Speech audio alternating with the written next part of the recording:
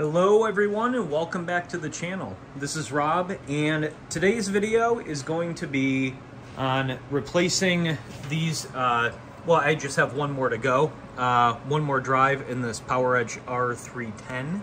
Um, so we have four two terabyte drives in RAID 10 and the reason I'm doing this is because when I initially set this up a couple years ago, I, uh, I had two uh, Western Digital uh, enterprise drives and then just went to Best Buy and then I picked up uh, two more of these uh, Western Digital blue drives. So I thought that today I would swap them out with um, enterprise drives like this one right here.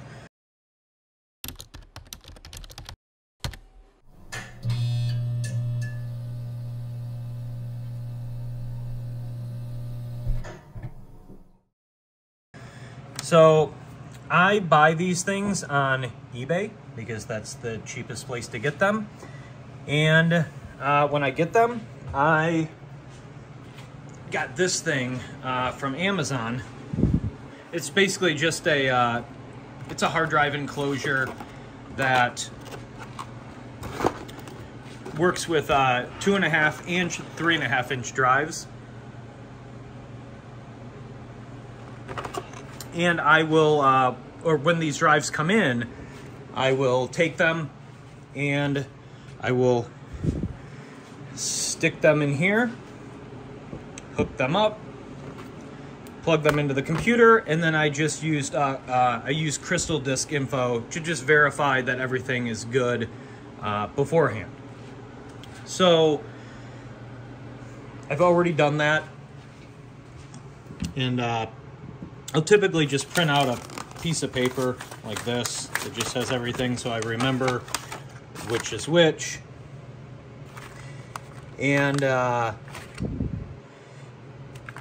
put them uh, put them uh, in storage until they're needed. Until now, because I still have to swap out the last Western Digital Blue. Anyways,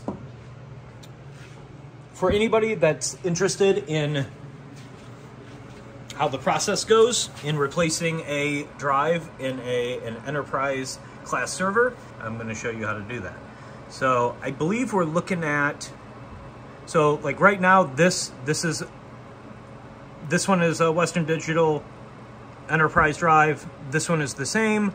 And then I believe this is the next one that would be uh, Western Digital Blue. So I think this is the one we need to replace. But before I go uh, doing anything foolish, I'm gonna go over here where I'm already remote desktop into the server where I have the uh, Dell SAS RAID Storage Manager open. This is, this is the one that uh, I just replaced.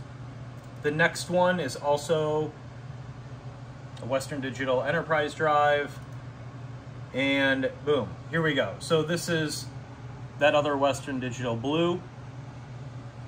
And then the last one is Western Digital Enterprise. So what I want to do is get this last Western Digital Blue drive out of there.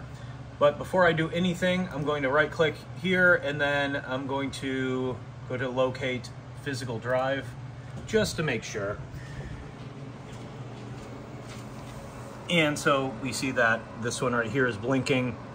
So at this point, I'm going to, before I remove it, I'm going to take the, because I just got additional, uh, I just received additional drive caddies in the mail today. Uh, so I'm going to take this thing, this Western Digital Enterprise, stick it in here, so that way I can just immediately swap it out after I take it offline. And then uh, keep my fingers crossed because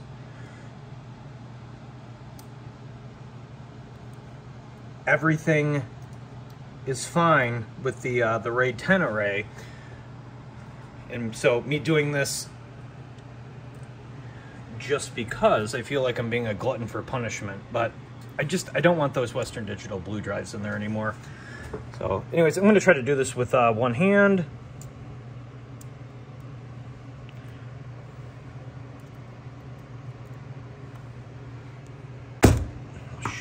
All right, so I'm gonna cut this part out and uh, because I'm incapable of doing this with one hand, and then uh, we'll be back in a second. All right, so there we go. We have it uh, fastened into the uh, drive caddy right now. And uh, I know what you guys are thinking. Oh, he dropped it. He's irresponsible with his hard drives. It's like, no, that is not the case. I uh, normally very careful with this stuff. I just normally don't film everything that I do. So anyways, we have this ready to go. Um, now there's some controversy over just pulling it out or if you should uh, if you should uh, make the drive offline first. So as far as I know, the best bet is to offline the drive first because it is you if you just pull it when the drive is still like if so let, actually let me back up here if this drive was bad it would already be offline and then you would just pull it out and swap it in and then uh, depending on your RAID card probably do an automatic rebuild, like in the case of this. This is a PERC, uh, PERC H700. Um, but when the drive is not actually bad, you probably want to make it offline first because then you uh, run the least risk of something becoming corrupted or something like that. So anyways, that's what I'm gonna do.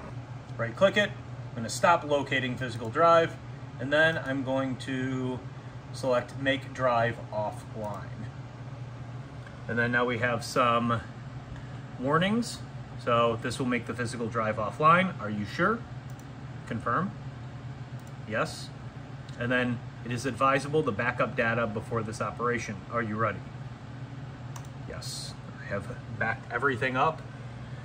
So we're going to go with yes. And Yep, there we go. So the drive is now offline. The virtual disk is now degraded. And so let's go over here, pull this thing out. And you see that now it's uh, blinking amber.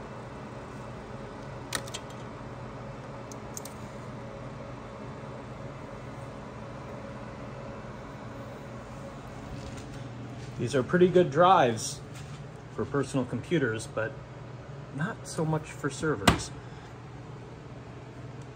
Let's take this other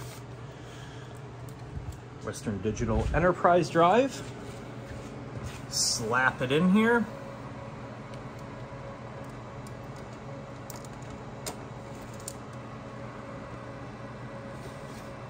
And the, uh, the rebuild process should start immediately.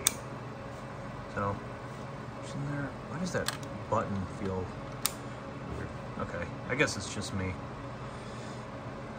She's fine, all right? So let me go back over to the computer and, oh, okay, actually, beforehand, uh, yeah, so we see, there we go. Okay, so it's pretty obvious. It's rebuilding. So like I said, this is, uh, this is RAID 10. So basically this is uh, this is RAID 1, RAID 1, and then RAID 0 across those uh, these mirrored sets. So this drive being rebuilt is going to essentially just get all of the, uh, the data from this drive over here. Hopefully this little guy's not on his last leg, otherwise we're gonna have problems. All right, so let's go over here and uh, double check, make sure everything is as it should be. So we do see that we removed the drive. And uh, let me just uh, rescan this really quick.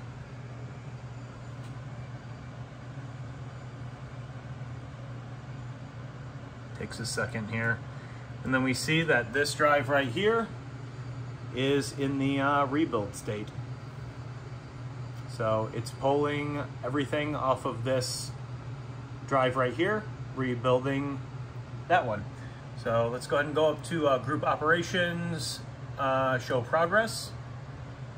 And yep, we're at 0%, of course. And uh, oh, there we go. So yeah, it looks like uh, four hours and 10 minutes remaining.